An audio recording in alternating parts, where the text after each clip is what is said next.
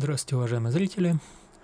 А, к сожалению для вас, ну, наверное, скорее к счастью для меня, у меня образовалась халтурка, за которую мне платят, и поэтому времени, в общем-то, на видео и на всякую ерунду не остается. Это не связано с э, Arduino и так далее. Я все-таки программист большого брата и, собственно говоря, буду патчить систему, которая 20 лет в этом году исполняется. Ну, лет 18 последних я, в общем-то, этим иногда занимаюсь. Вот. Ну, еще на офтопик небольшой. Эм, для некоторых граждан, которые меня иногда пытаются задеть, там, развести э, и так далее. Так вот, э, на моем канале, мне не нравится слово канал, но YouTube применяет такую терминологию, давайте, в общем-то, ей будем пользоваться. Не будет видосиков, поэтому не просите меня снять видосики, меня бесят эти слова. Если вы не владеете русским языком, лучше не владейте им совсем. Э, мне не нужны подписчики, извините.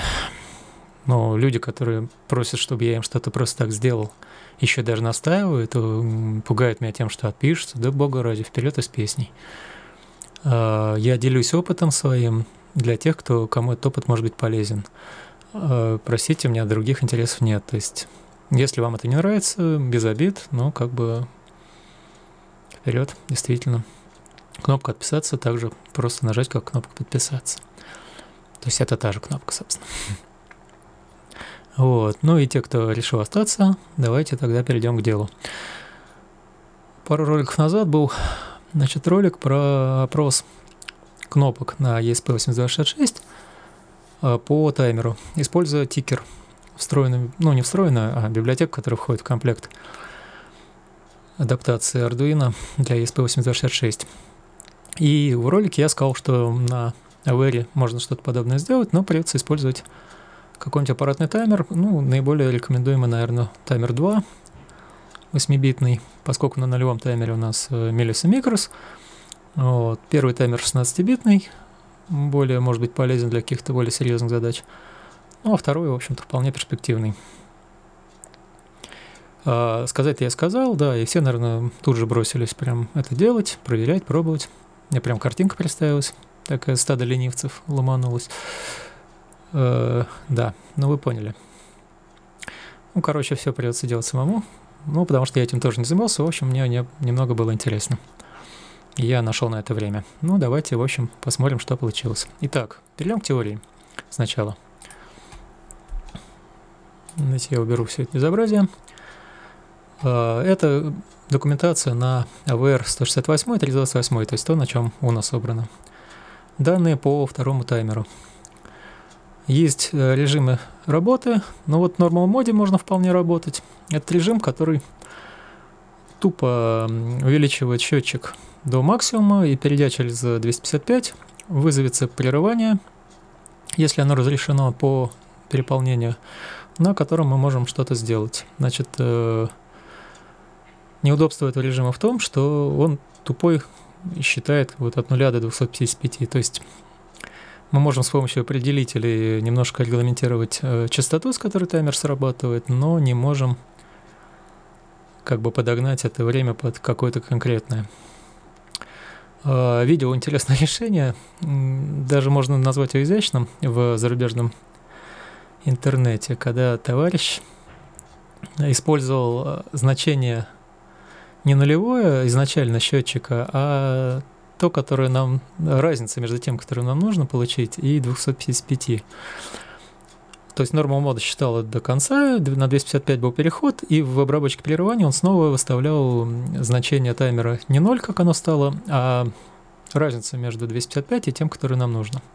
Ну и, грубо говоря, если нам нужно 125, то, соответственно, там сколько? 130, получается, мы загружаем, и у нас получается 25 счетов до переполнения.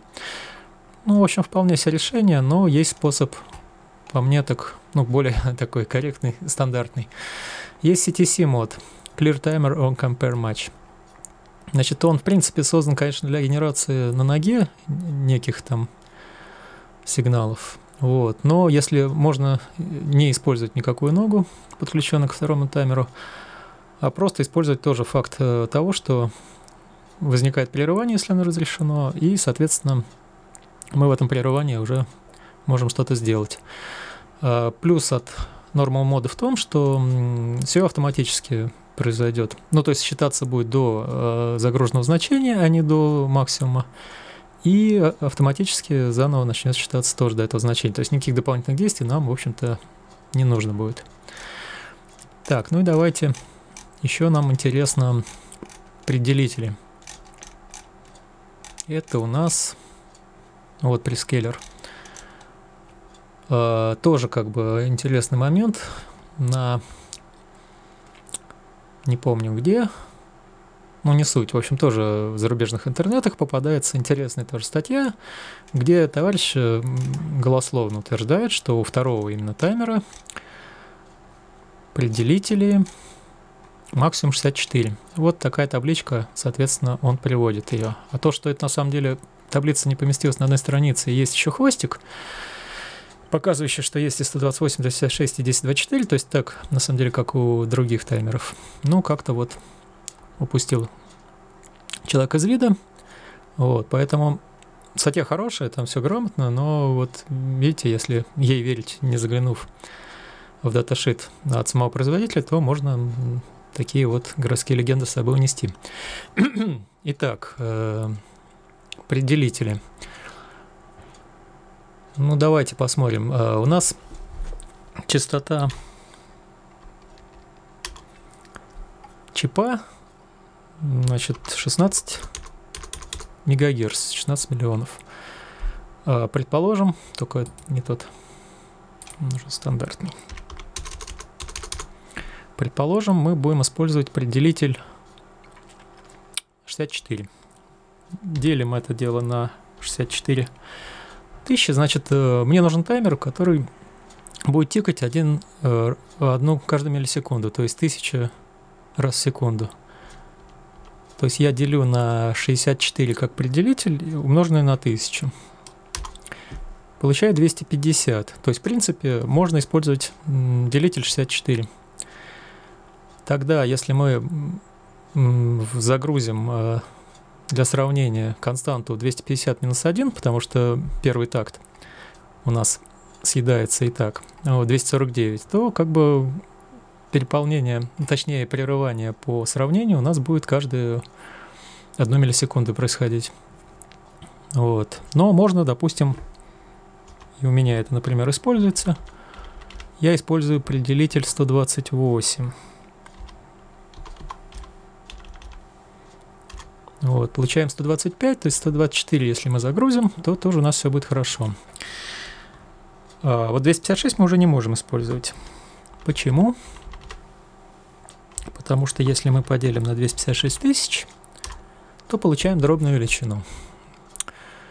Вот, как быть, если у нас не 16 МГц, а 8 МГц? Ну, на самом деле, самое простое – это перейти от 128 к 64, и мы получим снова свои 125, ну то есть 124.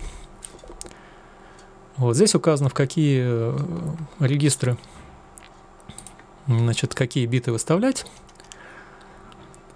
Так, вот у нас CR2A, э, сюда мы помещаем константу, до которой мы считаем. Ну, то есть в нашем случае это 125 минус 1, 124.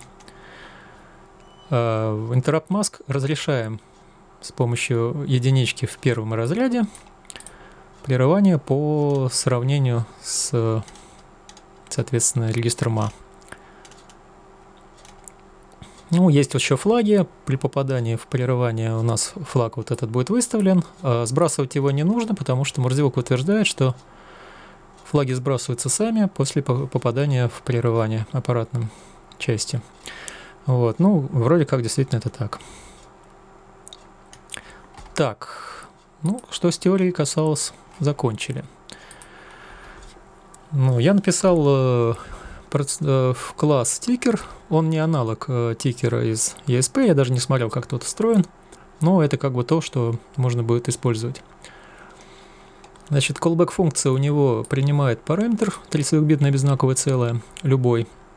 И тем самым мы сильно упрощаем задачу по использованию callback'ов из класса, то есть класс member. Вот. Потом я вам покажу, как это можно сделать. Значит, э, тикеры все методы статические, по большому счету создавать объект не нужно, можно вызывать э, методы этого класса статические без создания объекта. Какие же у него есть методы? Старт э, запускает наш тикер, стоп останавливает, add handler э, добавляет обработчик, значит ему мы указываем 32-битное беззнаковое целое, это период в миллисекундах, callback функцию, которая принимает параметр 32-битное беззнаковое целое, необязательный.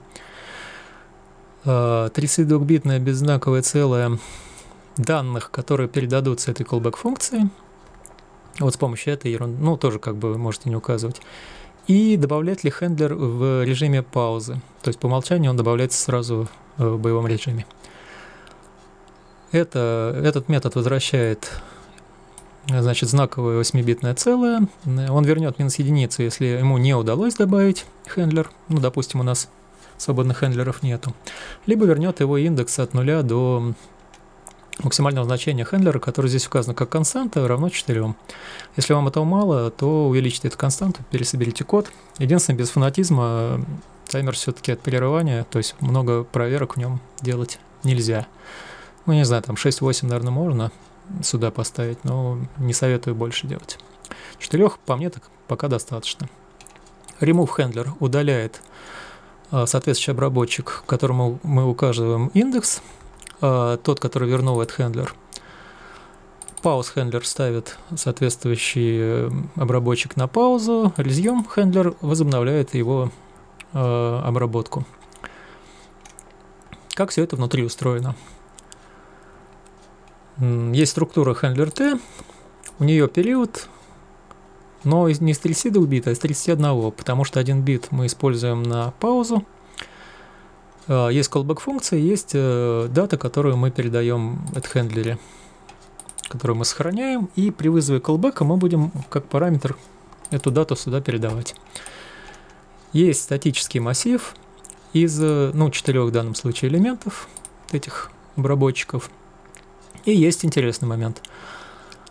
А, статическое 30-битное беззнаковое целое, общий период – Значит, э, он рассчитывается в статической приватной функции calc command period. И, собственно говоря, используем мы вектор для второго таймера сравнение с регистром А. Вот. Так, ну давайте пройдемся. Значит, э, старт у нас настраивает второй таймер таким образом. То есть вот это 124 наша константа получено отделение 16 миллионов на 1000 умноженное на 128 или 8 миллионов деленное на 1000 умноженное на 64 и минус 1. То есть мы получаем 125, минус 1, 124. Включаем CTC мод. Все это в документации есть. Если у нас э, частота 8 МГц, то мы определитель 64 используем. Если иначе, ну, полагаем 16, к сожалению, с 20 тоже красиво не получается. Вот. Для 16 используем определитель 128, это 2 бита, 20 и 22. Разрешаем прерывание по значит, э, сравнению со вторым, с регистром А. И разрешаем глобальное прерывание, которое мы вначале запрещали, для того, чтобы безопасно достаточно настроить таймер если вдруг он был уже включен. Стоп у нас э, выключает таймер второй. На самом деле, если мы в регистр TCC R2B помещаем 0, то он у нас выключается. Вот. Здесь, когда мы помещали в него какой-то определитель, соответственно, он автоматически включался. Добавление хендлера ну, достаточно простое. Единственное, тоже на время обновления информации мы запрещаем прерывания, в конце их разрешаем. И обязательно при добавлении пересчитываем общий период. Также при удалении мы запрещаем прерывание, потом их разрешаем и в конце тоже пересчитываем общий период. Ну, пауза и возобновление совсем просто. Значит, общий период мы считаем как э, наименьший общий делитель. Нет, наименьшее общекратное Нет, наименьший общий делитель, сори. Господи, чертов русский нот, короче, да. Да, наименьший общий делитель от э, всех элементов, э, от всех периодов, э, значит, э, всех хендлеров. Зачем это делается? Вот у нас обработчик полирования. Значит, у него есть э, статическая переменная тик, которую он, соответственно, каждый шаг свой наращивает. Вот. Этот общий период э, нужен для того, чтобы этот тик обнулить, если мы достигли этого общего периода. Но при этом э, мы не можем тупо позволить этому счетчику крутиться до переполнения, потому что если он, мы, наш периоды, любые, точнее, периоды не кратные степени двойки, а это, скорее всего, так и будет, то при переходе через ноль вот, у нас все это дело поломается. То есть последний переходный значит, сработка хендлеров, она у нас будет не, с некорректным временем выполнена. Самый простой выход – это на наименьшем общем делителе, соответственно, при его достижении мы обнуляем счетчик и начинаем сначала. В самом обработчике.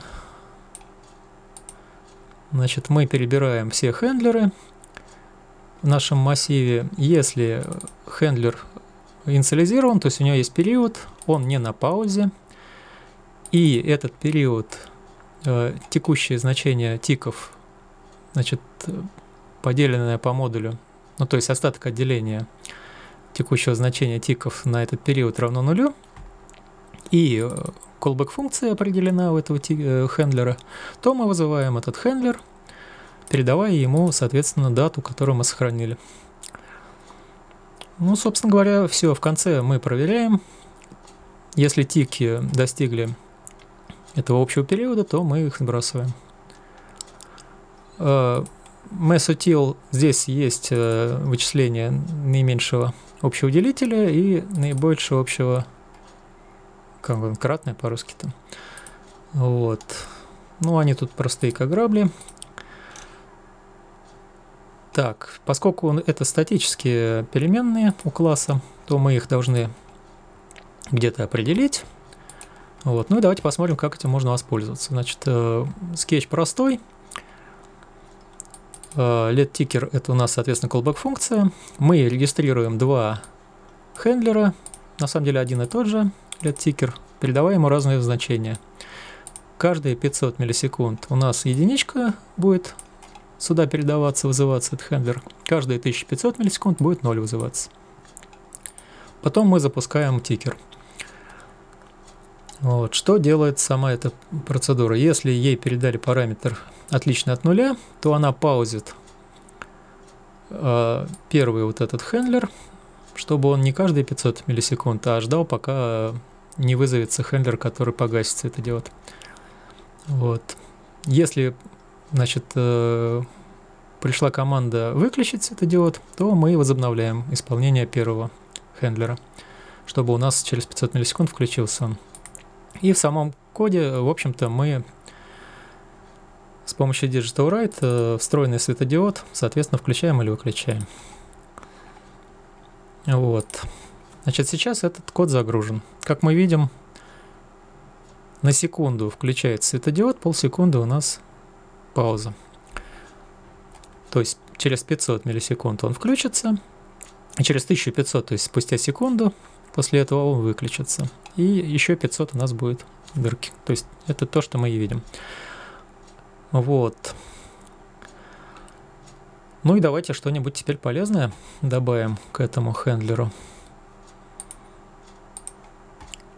Давайте добавим полезно. Расширим его функционал немножко. Значит, э, класс buttons, который мы, похоже, использовали вот, в скетче про ESP8266 и так далее – Немножко его модернизируем. Первое. В состояние, которое может возвращать клавиатуры, добавим long pressed. Это если долго держим кнопку, но не отпускаем. И добавим обработчик двойного нажатия. Double click. Все это дело реализуем через стикер. Вот, значит, поскольку в прерывании мы должны как можно быстрее закончить обработку, то, конечно, никакой тяжелый код мы использовать не можем. Мы для использования тяжелого кода должны обеспечивать э, очередь сообщений, э, точнее событий. Вот, и давайте нагрузим на тикер, соответственно, поддержку событий. То есть помимо того, что вот он у нас как был, да, добавляем тип event структуру, у которой есть беззнаковое 8-битное целое, это тип события и какие-то данные тоже 8-битные. Соответственно, добавляем некое количество статических тоже функций, которые у нас обрабатывают очередь событий. GetEventCount возвращает длину очереди, PickEvent возвращает указатель на верхний элемент, GetEvent возвращает указатель на верхний элемент и удаляет его. Пост-ивент у нас, соответственно, позволяет сохранить в очереди новые э, события, которым мы передаем на вход типы да, данные и, соответственно, все так и будет. Здесь вот есть константа QSize, равная сейчас 32. Если вам мало длины очереди, если у вас э, код, который большие куски не позволяет обрабатывать э, основному лупу, код, то вы можете увеличить размер очереди, но помните о том, что это все-таки оперативная память, и каждое событие у нас 2 байта, да, соответственно, уже сейчас вот 64 байта в оперативке будет постоянно висеть. А плюс на самом деле еще 2, и это только на обработку очереди. Вот, значит, собственно говоря, тут особо ничего не меняется, кроме того, что реализуются эти get-event, пост-ивент и так далее. Все остальное остается как было. Так, давайте в кнопках посмотрим, что изменилось. Значит, э, еще один момент.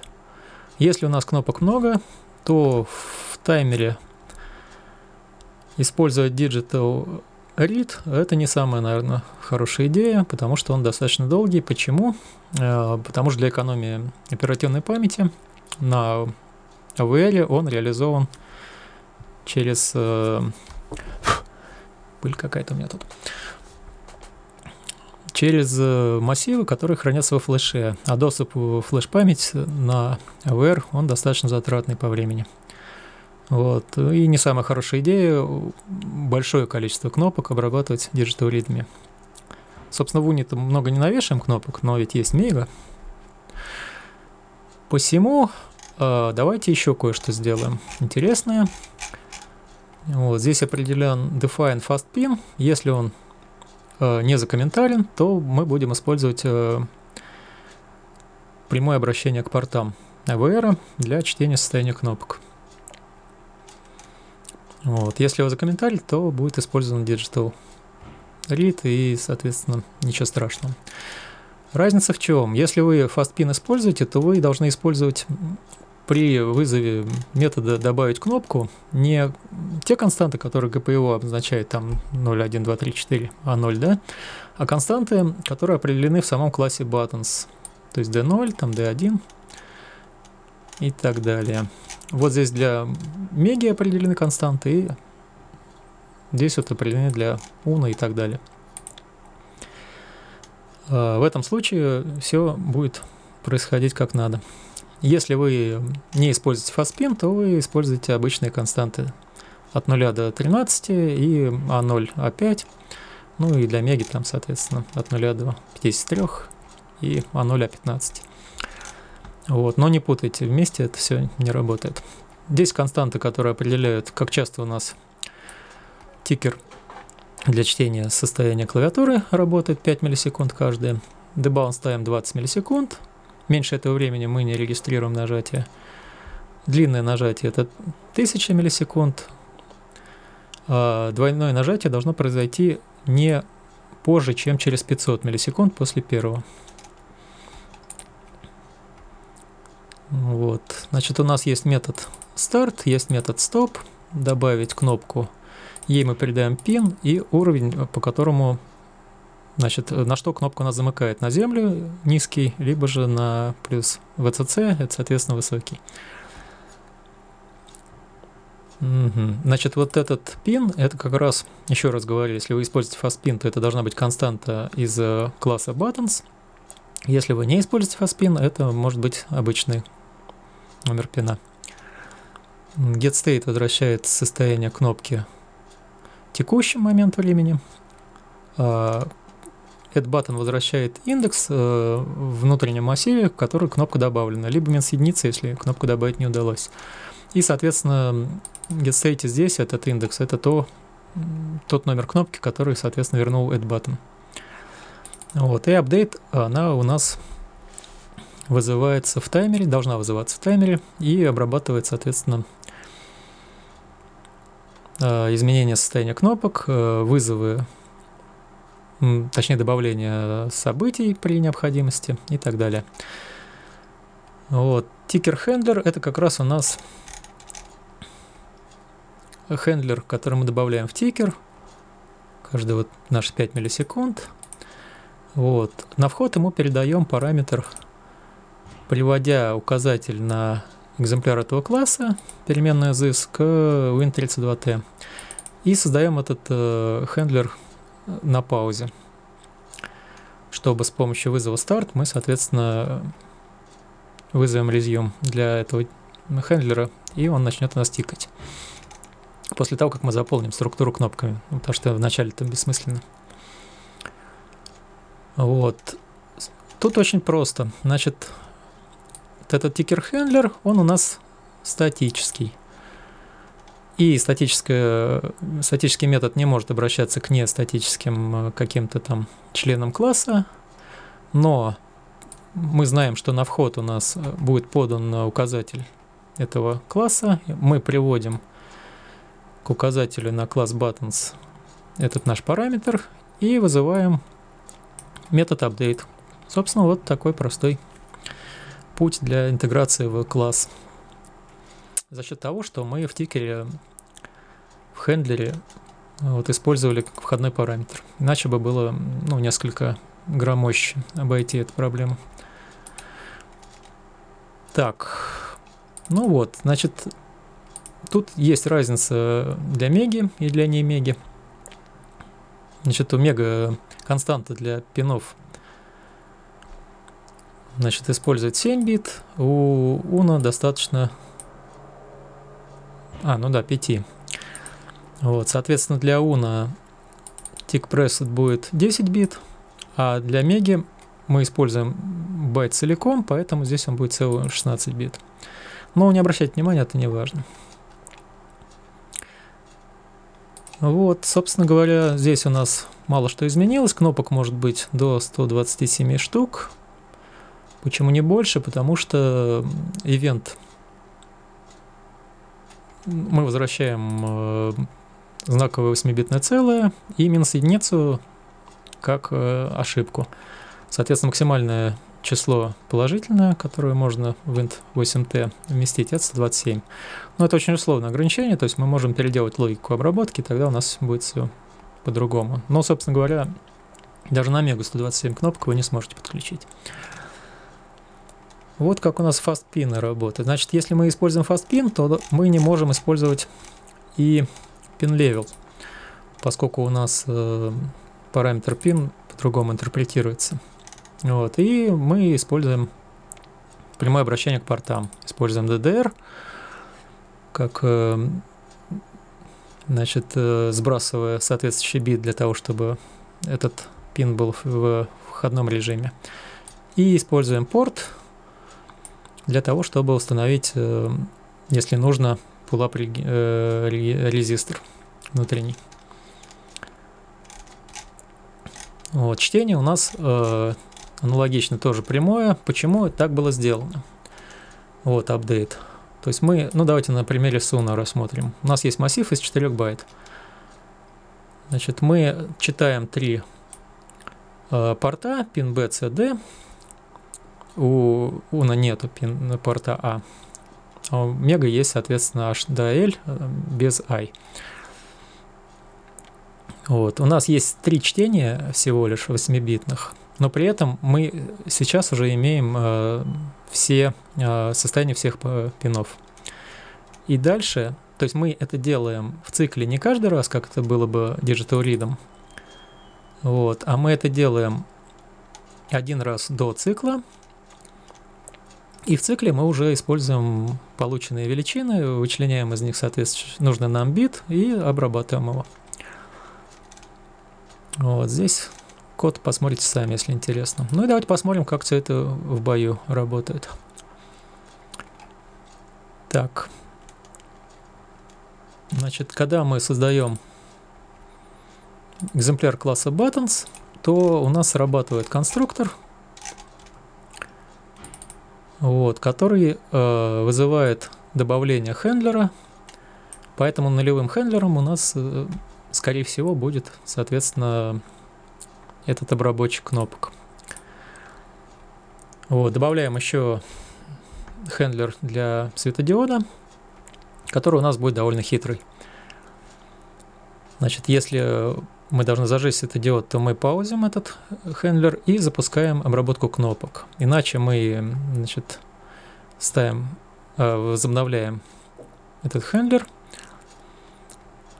и останавливаем обработку кнопок. То есть только когда лампочка у нас будет гореть, э, кнопки будут обрабатываться. Когда она гаснет, э, кнопки не обрабатываются за счет того, что обработчик кнопок у нас, соответственно, на паузе. Вот. Ну и поехали. Поскольку здесь pause handler мы не можем передать сюда 0, потому что, ну как бы 0 большой вероятности, ну в данном, точнее, случае это однозначно обработчик кнопок. Вот это, в принципе, будет единица, но тоже, как полагаться, нет, не стоит.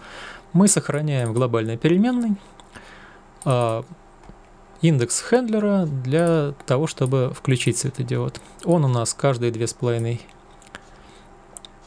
секунды будет срабатывать. Добавляем еще хендлер, который каждые 5 секунд будет тушить светодиод.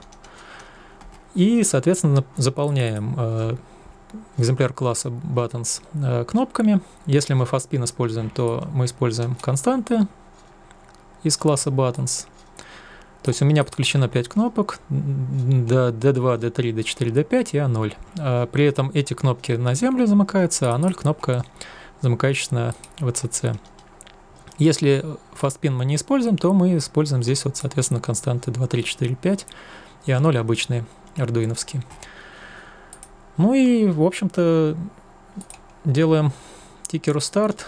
Кнопки у нас сейчас э, не включены, но когда мы попадем в обработчик светодиода, вот, через 2,5 секунды, то, соответственно, включится обработка кнопок. В лупе мы обрабатываем очередь сообщений. Теперь она у нас в тикере живет. Вот. Аналогичным образом, как это было раньше. И вызываем некую паразитную нагрузку longload, которая 5 секунд у нас будет считать обратный отчет, э, имитируя некую загруженность э, скетча, который не позволяет нам в лупе ничего быстро обрабатывать. Ну, давайте соберем сейчас это безобразие, подключим и... Так, сразу я загоню код. Потом подключу железо.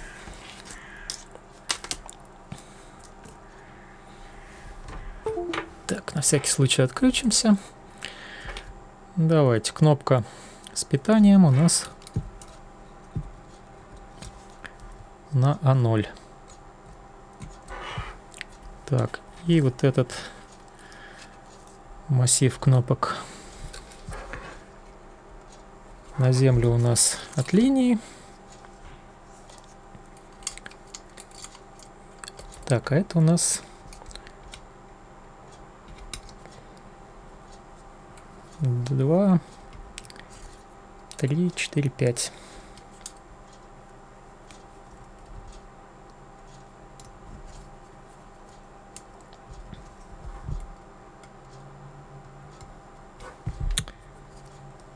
Вот, давайте подключаем питание. Запускаем сериомонитор. Вот, отчет пошел. Смотрим на светодиод. Вот, он мигает с частотой 2,5 секунды. Так, нажимаем верхний ряд кнопок, когда у нас светодиод будет выключен. Вот сейчас я нажимаю что-то. Вот, ничего не свалилось. Вот. Сейчас светодиод включен. Я понажимал. Значит, прилетели сообщения. Нажато короткое нажатие на отключение, нажато двойное нажатие, третья кнопка. Нажато короткое, нажато двойное, нажато короткое. И потом у нас произошел как раз переход на ситуацию, когда мы не читали кнопку. Кнопка словила то, что ее отпустили, вот, но не, не смогла поймать, что ее нажали. Но из-за того, что на паузе был как раз обработчик. Вот у нас Pressed Long Pressed. Третья и первая.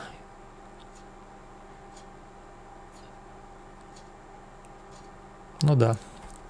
Вот так это все работает. Но понятно, что я именно ставлю на паузу. Это просто для того, чтобы показать вам, что вы можете это сделать и это отрабатывать. Так, ну и давайте двойное нажатие на кнопку, которая по высокому уровню, она тоже обрабатывается. Press short click, press double click. Ну и, соответственно, если я ее нажму больше секунды и отпущу, то получится preset, long preset и long click на отпускание. Так, теперь давайте посмотрим, как все это выглядит. Я нажимаю кнопку, пока у меня не обрабатывается. Отпускаю, когда обрабатывается. Он сделает не preset, но, видите, я ее долго держал, да, а он этого не смог обнаружить, потому что когда он начал читать, она для него только нажалась, вот, и, соответственно, когда я отпустил, она только отпустилась. Это побочные эффекты от э, того, что мы на паузу ставим обработчик кнопок. Но это было как бы не нужно, это просто показатель того, что можно ставить в одной обработчике на паузу другой обработчик, например, и так далее, что-то подобное. Вот, на Меге это тоже должно работать. Ну, я не проверял, но, в общем-то, все выглядит. То есть таймер 2 там такой же абсолютно. А, константы для фаст пинов э, другие, под Мегу списаны. Ну и на Уни, как видите, это тоже все работает. В принципе, идея с э, обработчиком событий, она универсальна. То есть можно на таймере вешать какие-то там, не знаю, обработчики, например, датчиков, да, но поскольку датчик читается в прерывании тоже плохая идея, вы можете в ивент тоже создать новый ивент. Важно, чтобы у вас э, тип не пересекался с теми, которые вы используете. То есть э, значение типа должно быть ну, да, больше, чем значение максимальное в данном случае для кнопок. То есть здесь у меня вот button long click, да, то есть, соответственно, это 0, 1, 2, 3, 4, 5. То есть если от 6 начать, например, то... Ну или вы можете заведомо, там, не знаю, 100 использовать и дальше. Вот, то есть, если у вас датчик срабатывает, допустим, раз там 10 секунд, то вы можете поставить тикер на 10 секунд. А, и, соответственно, в нем вы просто делаете тикер пост-ивент. Вот, какой-то там, соответственно, константу, определяющую, что это у вас э, обновить нужно датчик, и данные, допустим, если у вас датчиков несколько, то есть его индекс, например, ну или ничего, там это не важно. И в основном цикле где-нибудь в лупе, да, вы обрабатываете с помощью get ивента э, вашу очередь событий. Вот. Если вы определили, что у вас тип тут нужный вам, то вы, соответственно, вызываете какой-то обработчик. У вас некая будет асинхронность, а, но при этом зато это безопасно, то есть вы таймер не подвесите, точнее всю AVR-ку не подвесите на долгой обработке таймера. И важно то, что каждый там промежуток времени, который вы укажете, у вас будет э, попадать в очередь сообщение, если она, конечно, не переполнится, сообщение о том, что необходимо, соответственно, очередное произвести измерение. Вот. Коды обоих скетчей будут под видео. Э, ссылка на документацию по VR, ну, хотите, тоже положу под видео. Ее поиском несложно обнаружить. Вот, ну, на этом, наверное, все. Э, надеюсь, было интересно, познавательно. Ну, не просто, конечно. Всем желаю творческих успехов, всего наилучшего. До свидания, до новых встреч.